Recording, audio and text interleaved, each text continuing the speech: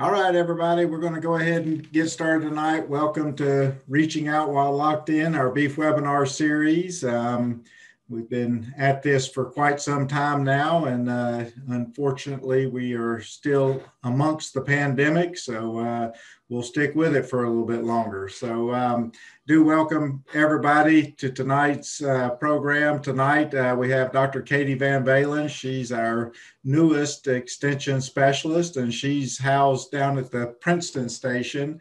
Uh, for those of you that have been with us for a while, she's on every week and uh, and was one of the uh, presenters, early on presenters as well. And glad to have uh, Katie back tonight. And her topic tonight is going to be preparing for winter feeding. And so, uh, Dr. VanValin, I'm going to turn it over to you. For those of you that are on, if you have a question, you can put it in the chat, uh, and then we'll get to, to the questions there at the end. So, um, Dr. VanValin, it's all yours. Appreciate you joining us, and we'll talk to you in a little bit. You're, you're still muted. There we go. There okay. we go. All right. Yeah, we've been doing this Zoom thing for a while, but sometimes we still mess it up. So we're going to jump right in uh, tonight talking about uh, winter feeding for our cattle. And so when we think about winter feeding, you know, we got to think about the cool season grass base that we have in the state of Kentucky. Uh, when you look uh, across the calendar year from January to December, we can see that we have both at the tail ends of the year, we've got this decrease in overall yield. And so that's really where we've got to come in with a winter feeding program to make up for that loss in forage yield uh, from our cool season forage base. So before we can get into any particulars about a uh, feeding program, I think it's important to think about the goals of the feeding program. Uh, so that might look different depending on what your herd looks like. So, spring calving herds, um, we're trying to maintain those cows through mid to late gestation. Um, some of those cows that maybe uh, calve earlier on in the spring certainly might still be, um, might go into early lactation. Fall calving herds, uh, we're maintaining lactating cows uh, throughout that winter feeding period. And then, of course, growing cattle we've got to maintain an adequate rate of gain on those cat on those cattle. And so um, there's a lot of different factors that can affect the nutrient requirements of cattle. And one of those is stage of production. And so uh, if you look at this graph here ac- across the uh, x-axis across the bottom, we've got months uh, since calving. On the left axis, we've got the crude protein requirement. And so we can see that that crude protein requirement fluctuates kind of quite a bit uh, throughout the calendar year uh, based on what her stage of production is at, at any given time.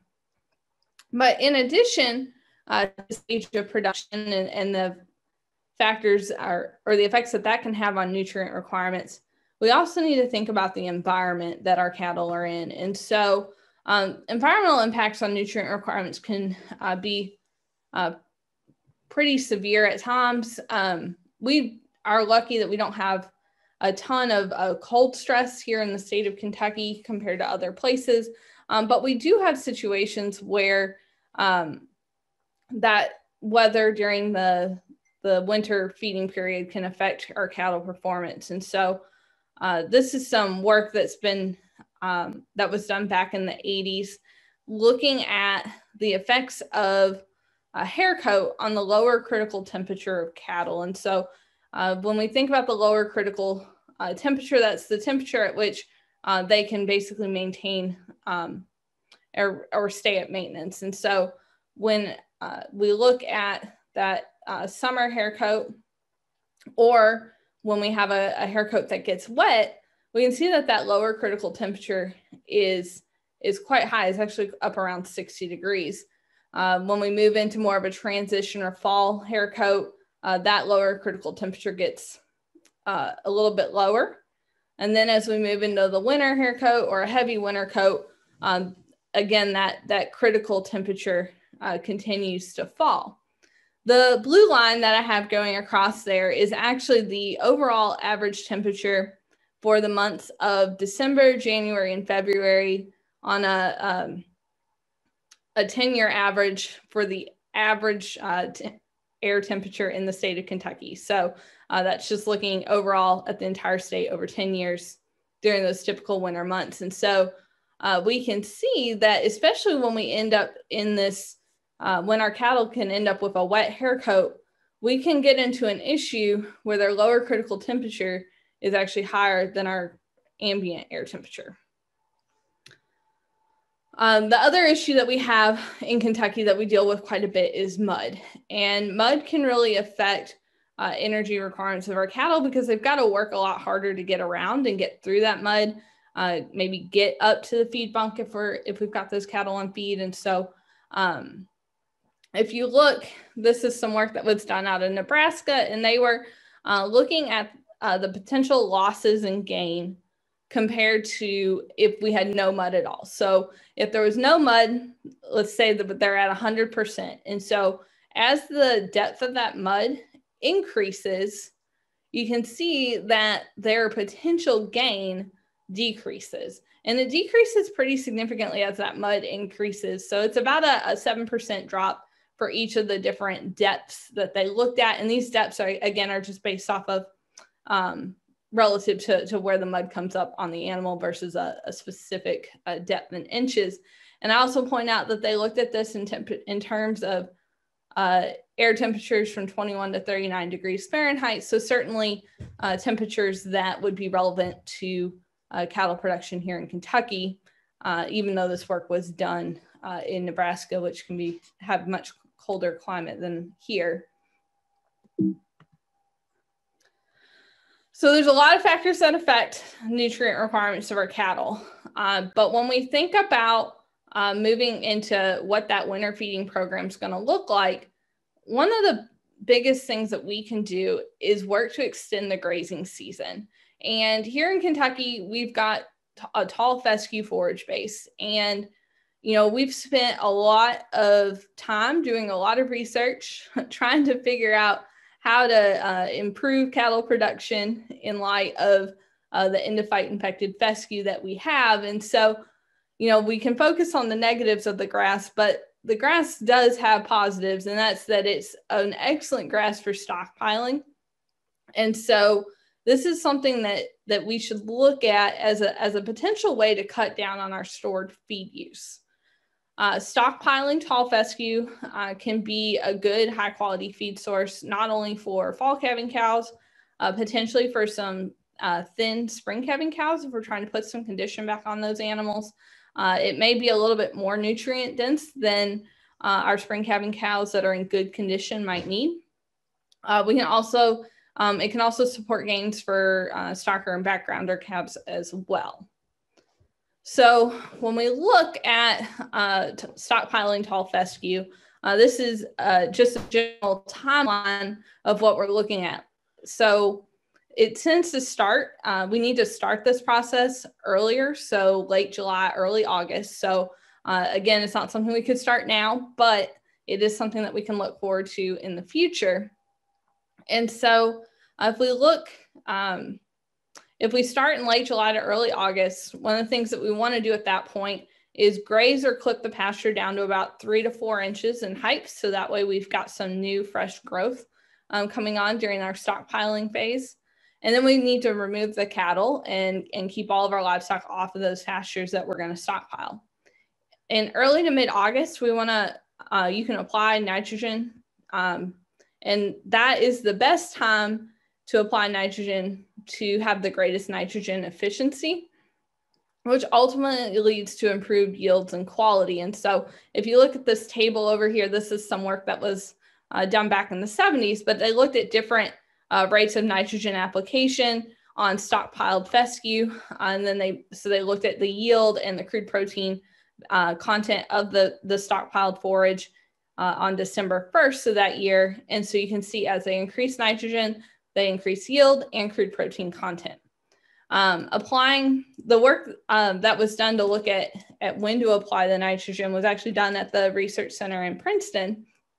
And they looked at uh, whether they applied nitrogen on August 1st, August 15th, September 1st, or October 1st. And again, they see the greatest um, efficiency when that nitrogen was applied on August 1st to August 15th uh, compared to that September 1st or October 1st date. However, applying the nitrogen later will still lead to some improvements in uh, yield in those cases. Uh, so then when it comes time to put the cattle back on and begin grazing, um, you know, that's sometime around November or December uh, based on, on the year. Uh, it's best to implement a strip grazing um, system, and that's going to allow for the best forage utilization.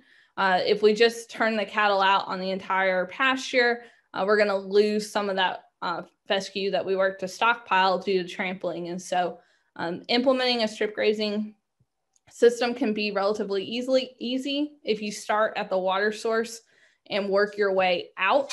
Uh, we're not where it's different from a rotational grazing system. We're not worried so much about the cattle being able to go back to where they started because uh, we're not trying to, to keep the cattle off of that uh, forage that they've already consumed. And so um, we want to allow those cattle to have a, couple days worth of grass at a time. And, you know, I've had conversations with some of my colleagues over uh, that are forage specialists on how do you how do you choose exactly how much grass uh, to allow the cattle to have? And that can kind of uh, depend. And it may take a little bit of trial or error the first, you know, week or so as you're starting this strip grazing system. Um, and so if you have any additional questions on, on stockpiling fescue, uh, Dr. Chris Teutsch actually did a, a, nice video on this for our virtual beef bash. So those resources are out there as well, um, talking about some options with stockpiling tall fescue. So there was some research done actually uh, in Missouri looking at the impacts of, of properly managed stockpiled fescue. And in that scenario, they were actually able to decrease hay feeding by 50%, uh, which ultimately decreased their winter feed costs on a per head per day basis by 35%. Uh, in some of that research, uh, the stockpiled fescue supported average daily gains of about one and a half to two and a half pounds per day in calves. And then in looking at uh, dry cows, so these are uh, cows that were allowed to graze the stockpiled fescue from November to February, and they were expected to calve in March. Uh, they had gains of about one and a quarter pounds per day. And over that period, they gained about 119 uh, pounds per cow. Uh, they did have to supplement a little bit of hay throughout there, about 500 pounds an animal. Um, but that increase of 119 pounds of gain uh, per animal would be enough to increase that animal by one body condition score. If we think about it taking about 100 pounds uh, to increase a single body condition score. So as I mentioned earlier, those spring calves that maybe aren't in the best of condition, turning them out on the stockpiled fescue may be a way uh, to get them to improve body condition score before they move into, before they calve and get into lactation where they get at a point where it's going to be difficult to, to change your body condition score at that point because their energy and protein requirements have increased so much. So it's going to be really difficult to, to try to graze 365 days of the year. And so it's we're still going to rely on stored feeds for winter feeding. And so when I think about stored feeds or maybe more appropriately stored, for, stored forages, think about grass hays, um, baleage or haylage, which is an ensiled um, feed stuff, and then also corn silage. So we're going to go through and talk about some of these in a little bit more uh, detail.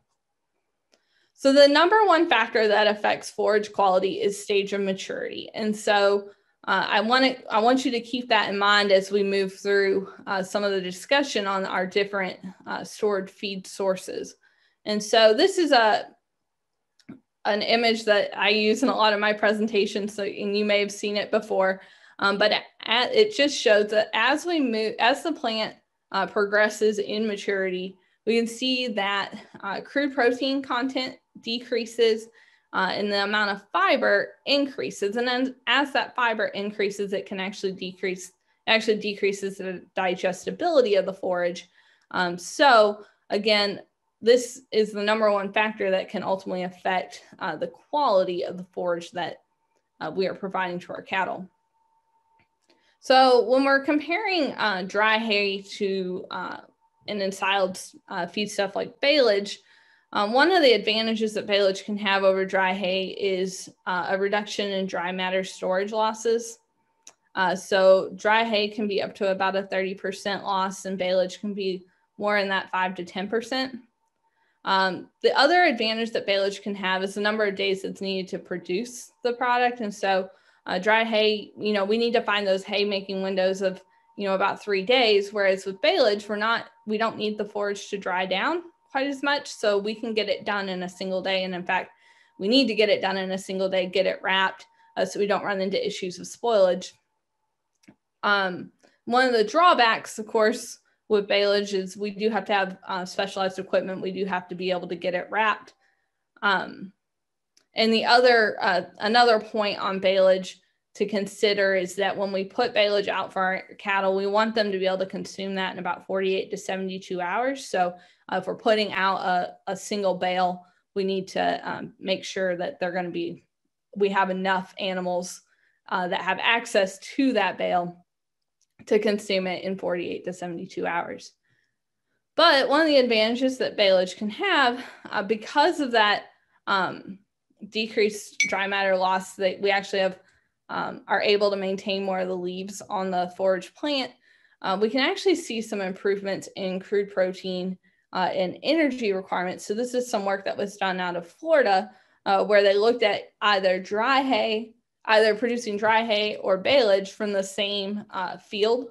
And so they, and then they looked at quality of those two um, feedstuffs. And so you can see the, the increased crude protein and TDN or energy content um, of the baleage there. The other thing about the baleage system is, like I mentioned, we don't have to have that uh, as quite as long of a, a dry window. And so being set up to, to potentially produce both dry hay and baleage um, might allow you to get a more optimal um, stage of maturity when um, it will allow you to get a more optimal stage of maturity uh, when, when deciding to harvest that forage. Also wanted to talk a little bit about corn silage. Um, corn silage can be a really good, a really nice feed stuff. Um, there's a lot of um, silage specific varieties of corn um, that can improve the overall digestibility of the feed stuff. Uh, the grain to forage ratio with corn silage can vary quite a bit, but we kind of expect it to be in that 40 to 55% um, grain range. And so that leaves us with a pretty high energy feed stuff of about 70% TDN. One of the issues with corn silage, though, uh, is that it is deficient in protein uh, for most classes of cattle. Uh, typically, we're going to see that analyze around 8%, maybe around 7%. Um, so one of the mistakes that, that people can often make with corn silage is uh, thinking that just putting out corn silage is going to get the job done. But if we're still protein deficient, you know, we're not meeting the nutritional needs of cattle. So um, an additional protein source, something maybe like a dried distillers grain will also be uh, required to mix in with the corn silage in most cases. Uh, some further considerations when thinking about utilizing corn silage, uh, the increased starch compared to some of the other stored forages means that we're going to have to transition those cattle. So starting them at about 1% of, of their body weight on an as fed basis. And then we increase them by about five pounds every three to four days. It's a general recommendation. Uh, so we don't get into a situation uh, with digestive issues like acidosis. Um, another consideration, of course, is storage. There's a lot of um, there's several different options. Um, the biggest thing is that we need to consider how much we're going to be feeding daily uh, to make sure that we can maintain a, a fresh uh, face to our silage. Um, upright silos um, are a little bit easier to maintain a fresh silage face but they're certainly slower to uh, fill and feed out and can have some of the greatest maintenance costs when we compare them to something like a bunker or a bag uh, we feed corn silage out of an upright silo at the research center in Princeton. And I know it takes about 30 or 40 minutes uh, for our guys to, to fill their, their silage wagon to feed about our 150 or so cows that we maintain throughout the winter. So just to give you an idea of what that what that looks like. Uh, silage needs to be consumed within about 24 hours uh, after we put it out. So that means that you're looking at daily feeding um, to to make sure that that silage stays fresh. Uh, so uh, those are just some considerations that you need to think about before uh, maybe jumping into corn silage. But again, it's an excellent energy source um, and can be a really economical feed store feed source uh, for us, especially uh, for you know some of our producers that you know maybe have some good crop ground as part of their overall operation. So regardless of what type of, of stored forage uh, that you uh, are wanting to utilize in your operation, um, we need to know the quality of the forage. And so how do we know what the quality of forage is? And I'll hear people say all the time, oh, oh, that hay looks good or it smells good. And yes, those can be general indicators of quality, but we don't really know unless we get it tested. So sending in a forage test is the only way to truly evaluate the nutritional quality of a, of a um, stored forage. So again, whether we're talking about dry hay or baleage or corn silage, uh, when should forages be tested? Um, in general, we want samples to be sent out as close to the time that we're going to feed them uh, or when our nutritional management decisions are being made. Um, so again, uh, in terms of nutritional management decisions that you might be looking at, you know, trying to figure out what supplemental feeds you want to be feeding. Uh, again, you're not going to know what supplemental feeds you need until we get on get the hay tested. Um, we want to make sure that we get those samples sent in uh, as close to the time that they've been collected, especially we're sending in a baleage or corn silage types uh, sample. Those samples have a lot more moisture in them. And so um, we don't want those uh, samples to get moldy or, or spoil along the way.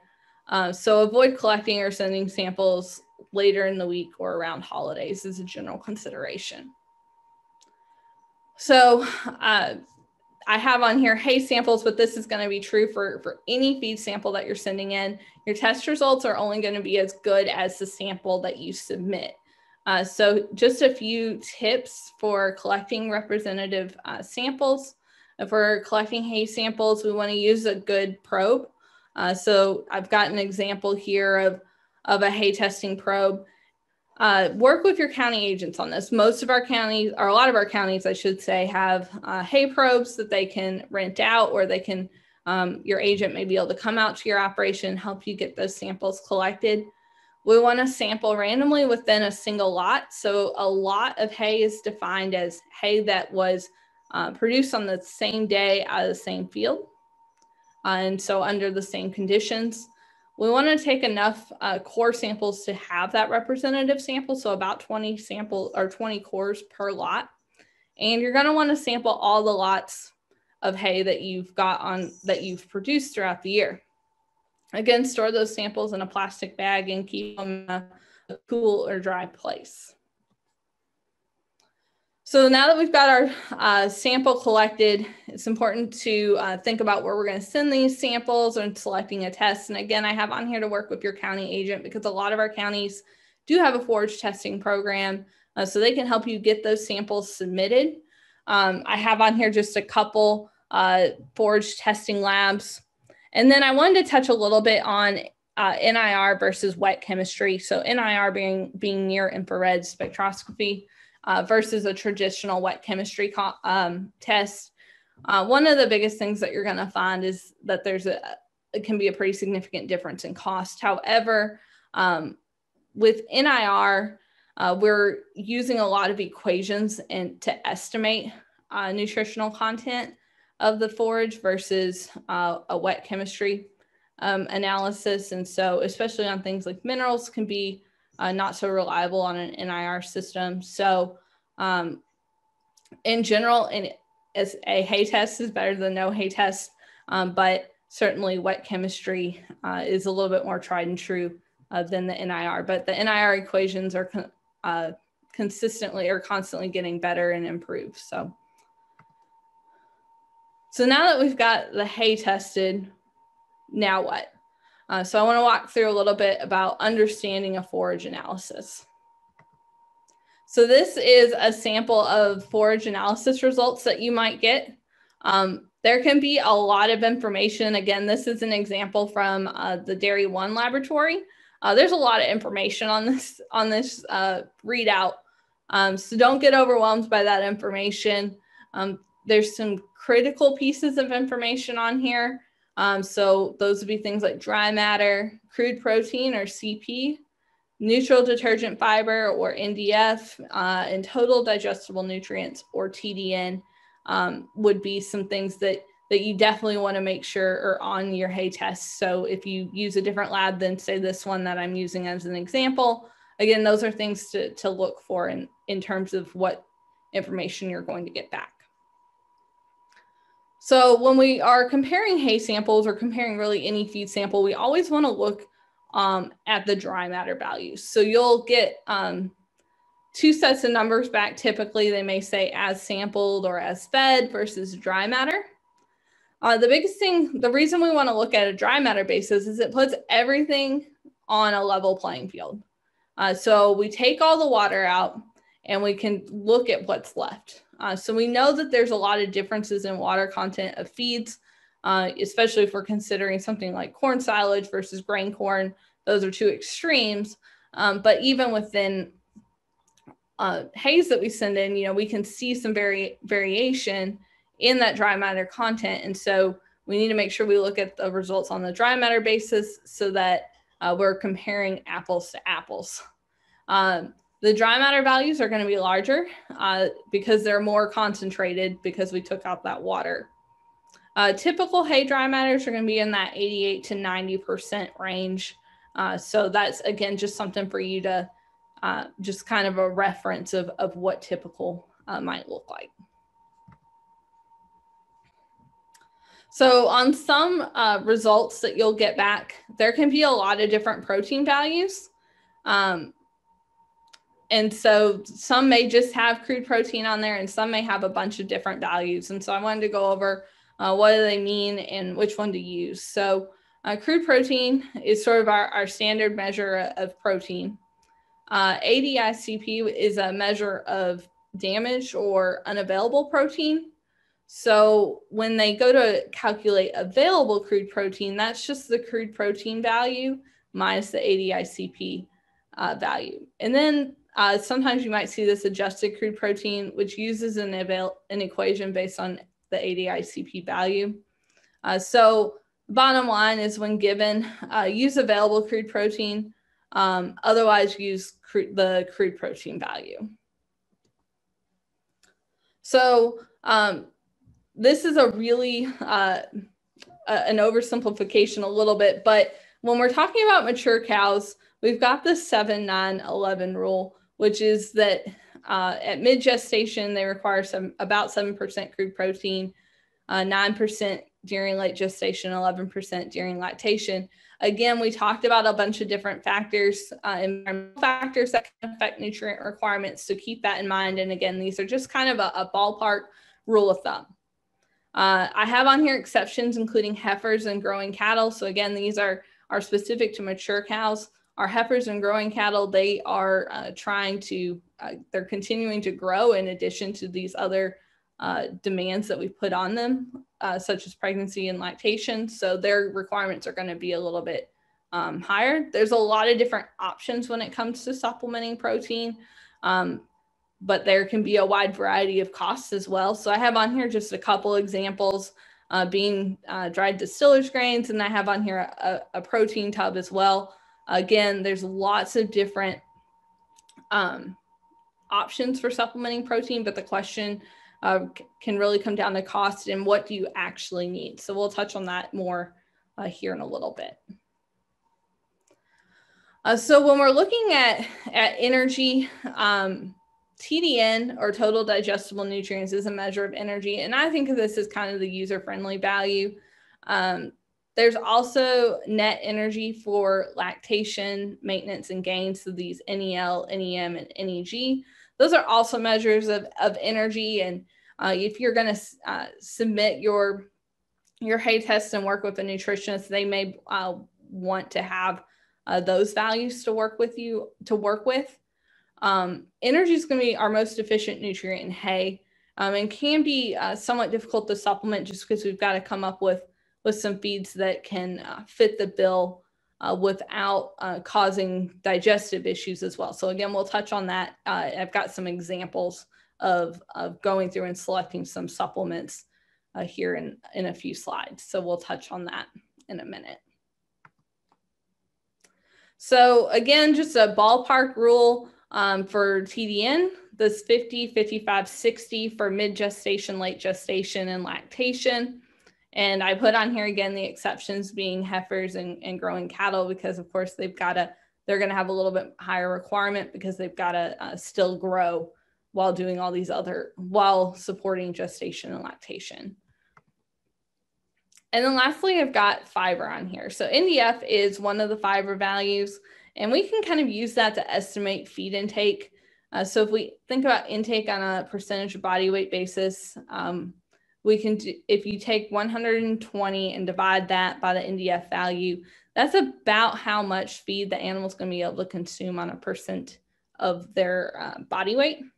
And really what that has to do with is uh, as that NDF value increases, the digestibility of the forage is going to decrease, uh, which can um, decrease the, how quickly it can move through the, the GI tract, meaning that our animals are going to feel fuller for longer, which is why they're not able to consume quite as much um, forage in that situation. Uh, so again, these are some, some rules of thumb for NDF when we're talking about uh, a legume hay, uh, in general, less than 40% would be what we would consider good quality, while greater than 50% would be a lower quality. And on grass hay, we're looking at less than 50% being good quality and greater than 60% being a poor quality uh, grass hay in that situation. Uh, ADF is a is acid detergent fiber that's uh, also um, that also follows uh, NDF. So um, if NDF in one hay sample is higher, the ADF value should also be higher when comparing it to another sample. Uh, just some general rules on uh, acceptable ADF values for legume uh, based hays 20 uh, to mid 30s and then grass hays 30 to mid 40s percent wise. So then the question becomes, do I need to supplement my hay? And ultimately, what we're trying to figure out is does the hay meet the requirements of our cattle? And so, in this little graph that I put here, I show um, this hay A uh, fully meeting the, the crude protein requirements for our cattle, whereas maybe hay B is, is falling a little short. But how much do I, but the supplement is just there to fill in that gap. Uh, so we need to think about that and remember that we're just filling in the gaps with supplements um, and really using that forage as our base. So to supplement or not. So I put up here two hays, uh, hay test results. I pulled out uh, the relevant information from, a, from some hay test results. Um, and I've got hay A and hay B. And so if we look, they're pretty similar. They're, they're identical on dry matter. We've got a little bit of difference in crude protein, uh, NDF values, again, are a little bit different and then some differences in TDN, but in general, they're kind of, they're pretty similar with where they're at. Down here at the bottom, I've listed those um, ballpark numbers for mid, late, uh, mid gestation, late gestation, and lactation. And so if we're looking at mid gestation, both these hays are going to fit the bill. They're going to get the job done. And in general, we shouldn't need to supplement them. Now, as we move into looking at late gestation, again, both of these are um, getting the job done. Um, we shouldn't have to supplement, but I do want to point out if you look at hay A in terms of TDN, it's just barely meeting that ballpark requirement, and same thing um, for hay B on crude protein. And so remember that um, our hay test results are only as good as the sample that we submitted. And so ultimately, um, we may still need to supplement and we really need to pay attention to uh, body condition score um, of our cattle. So Uh, these again are of course just estimates and we know that there's a lot of different uh, factors including animal to animal variation and, and environment that can impact the, the nutrient requirements. But then when we move into lactation, we see that neither one of these hays are going to get the job done uh, in terms of both crude protein and energy. And it's pretty darn difficult to, to do that, uh, to meet both protein and energy requirements of a lactating cow with a grass hay. So uh, this doesn't necessarily mean that these are, are bad quality hays or bad hay samples. Um, it's just pretty darn hard to meet the, the lactation uh, pro, crude protein and energy requirements with, with a grass hay. So the so UK has a beef cow forage supplement tool, and so I put the website in there. But if you just do a Google search for for that, you will come up with uh, this web page. So it'll look like this when you click on it. And the the cow or the tool makes some um, assumptions. So it assumes about a 1,250 pound cow and it estimates feed intake uh, using that 120 divided by the forage NDF estimate. And so the so of course you'll need an NDF value from your hay test result. And then the other information that you'll need to use this calculator is dry matter, crude protein, TDN, and then the stage of production uh, that you are, are wanting to evaluate for. So just to show you what the, the results would look like, uh, you can go in and select either particular supplements on there that we have listed, or you can select all of them. So that's what I've done here. And just as we um, pointed out on the previous slide, uh, if I put in hay A for mid gestation, it comes back and tells me that we don't need to uh, supplement anything to meet those protein and energy requirements of that cow. But when we go in and look at lactation, just like we said, we're going to need to supplement. And so you can see here that it gives you uh, a bunch of different options and gives you some amounts um, to start with uh, for supplementing your cows when feeding this feeding this particular hay based on the results that you put in.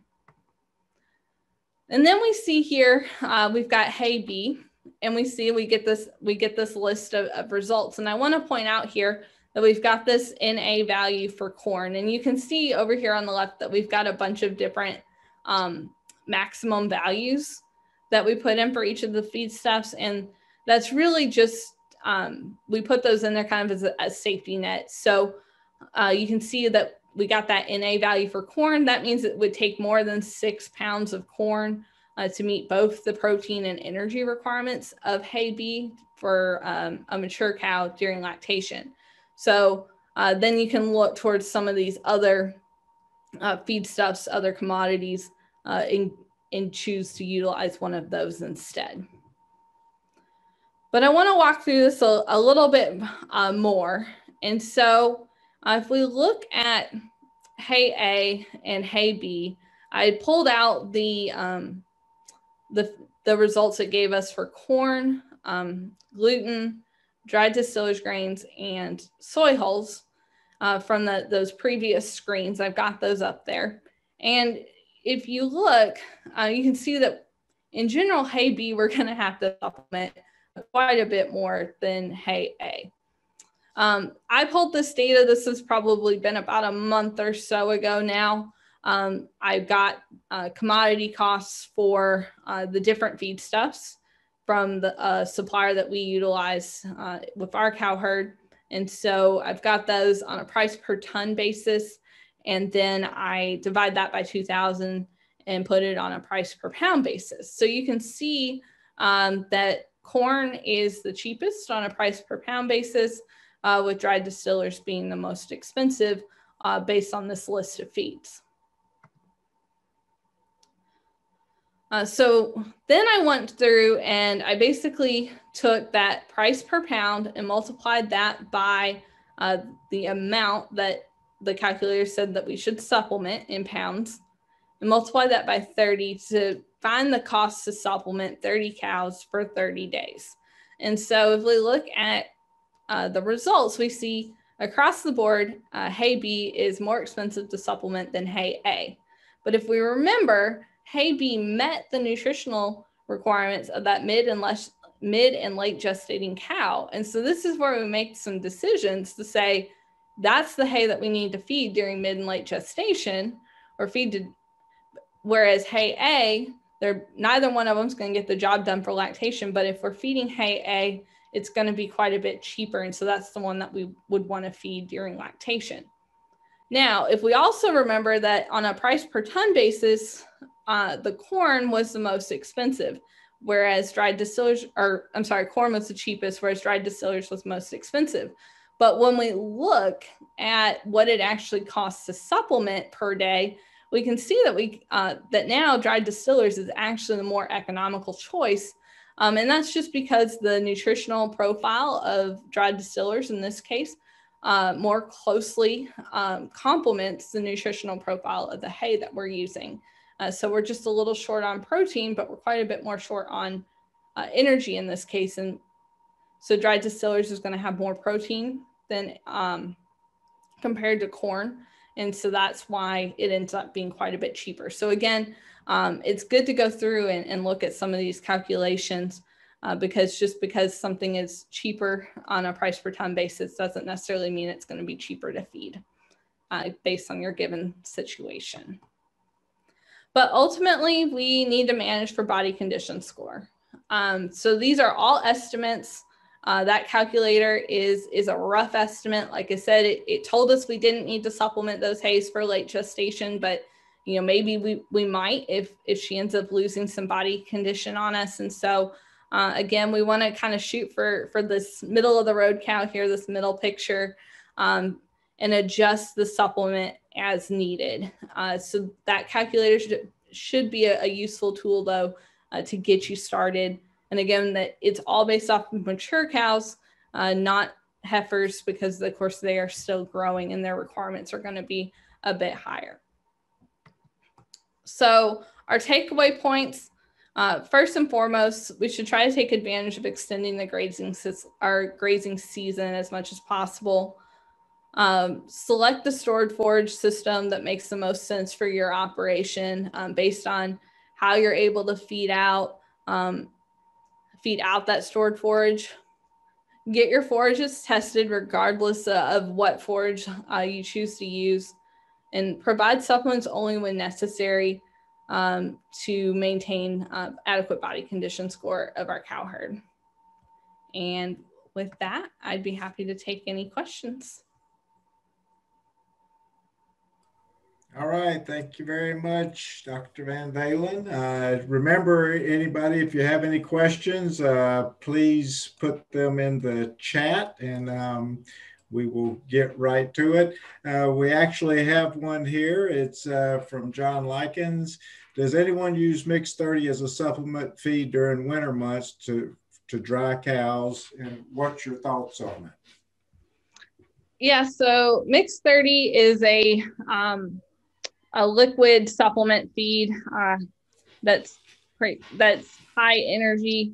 Um, again, we got to think if you're thinking about dry cows, we got to think about if we're meeting those nutritional requirements with our stored forages, then maybe we don't need to utilize uh, any supplement at that point. So if we're talking mix 30 or another uh, source of, of supplemental feed, it ultimately becomes comes down to what's the protein and energy in our forage base and and what do we need to to add in on top of that. So um, I know that's a that is a, a, popular feed in this area, and and like I said, it's um, you know it can be can be utilized if but if we need it. So.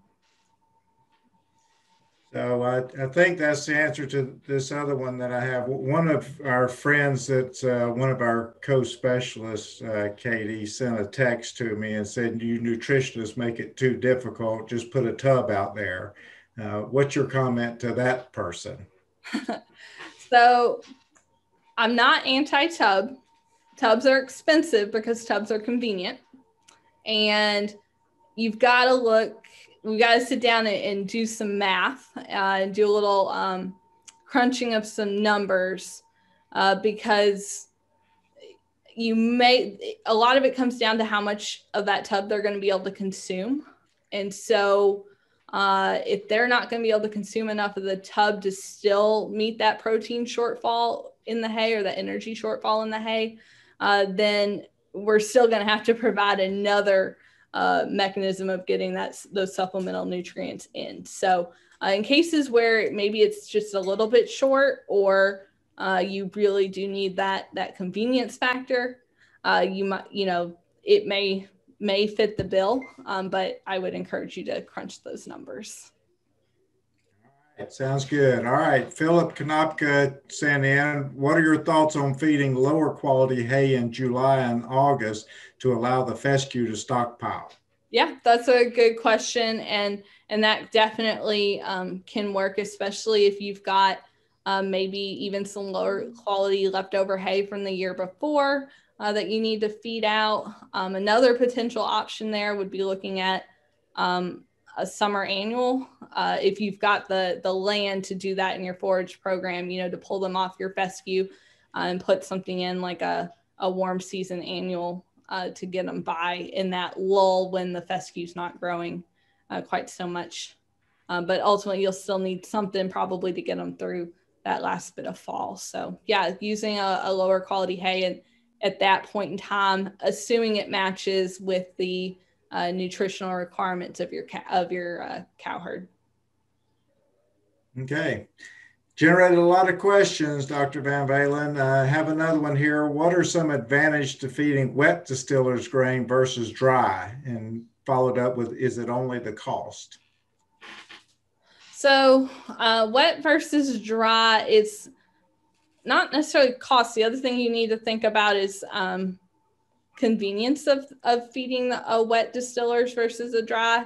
Um, if you're looking at, at wet distillers, you're going to be hauling quite a bit of, of water uh, down the road as well. So, um, you know, in terms of of matching nutrients, you know, you, you're they'll they can both be used as a supplemental feed source but you, again that's a one of those situations where i think you need to um, to look at uh, the the rest of the system in terms of again getting that all that water down the road and and uh, being able to feed that throughout the winter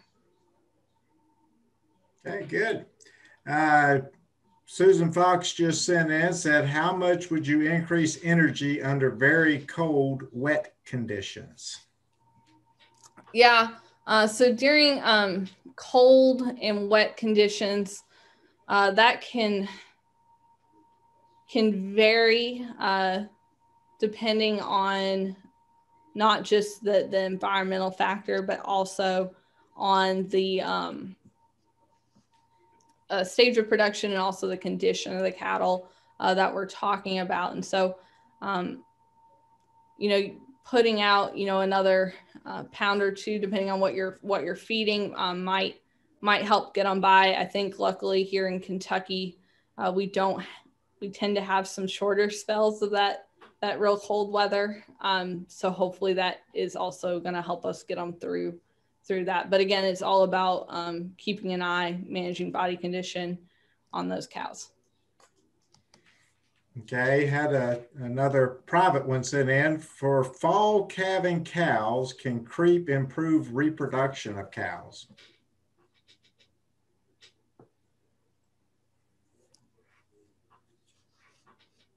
So, providing um, for thinking about providing creep feed to um, I guess cows. probably probably getting at you know is is that going to relieve the cows you know her how much she's putting into the milk aspect of it is where I think that question is going. Yeah, um, you know she's she's when they're when they're still young like that. There's um, you know depending on where they're at that may may help another another um, factor if we get into a, a case where um, we really are are tight on forages. We've got a, a bad year. Um, another potential option might be to, to look at early weaning, uh, which would you know allow that cow to dry up um, and and stop her stop producing milk and stop lactation early. So that may be another um, management decision to look at in those years that where we become really, really short on forages. But luckily this year it's been a pretty, if there's one positive to 2020, a lot of areas in the state had a good uh, forage year. Yep. And, and you know, the local geneticists would say that uh, if you ever having issues with uh, cows milking too much, then reduce the amount of milk you're putting in the cows. So, yep. Any other questions out there? Good, good discussion tonight. All right, I've I put up the slide uh, for next week, and also for those of you that are needing the CAIP educational, uh, the CAIP code for tonight is the same as the password. So beef feed, uh, and that goes in the the instructor signature box. And uh, communicate with your county agent. Uh, some are requiring a little extra um, in order to get the, the CAIP credit. And so, uh, and it does always have to go through and be approved through the county agent. So uh, if you have any questions or need any additional information in terms of your particular county CAIP program, uh, contact your agent. Uh, next, or not next week, I got to get over that.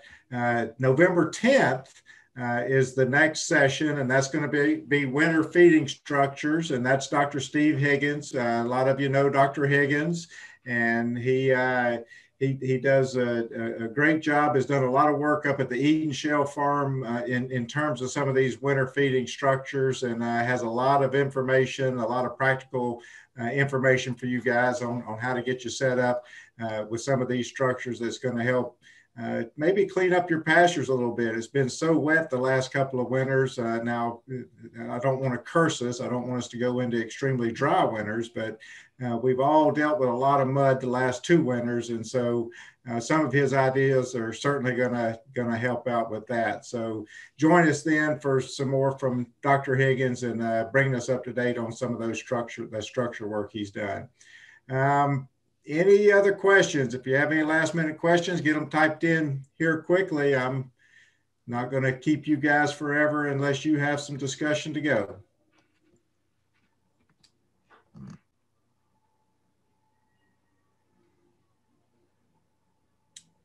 All right, Dr. VanValin, looks like they're going to let you off the hook. Uh, a lot of compliments tonight. Uh, great job. And um, We'll see everybody on November 10th. Please stay safe, take care of yourselves, and uh, I guess we're going to have a big event between now and then. Hopefully, hopefully everything will uh, will will still be in existence then. So uh, we'll see what happens. So look forward to joining or seeing all you guys on November 10th. Uh, thank you, Dr. VanValin. Everybody have a great night. Good night.